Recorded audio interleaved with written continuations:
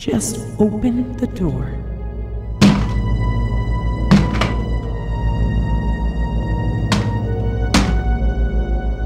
Everything's gonna be okay.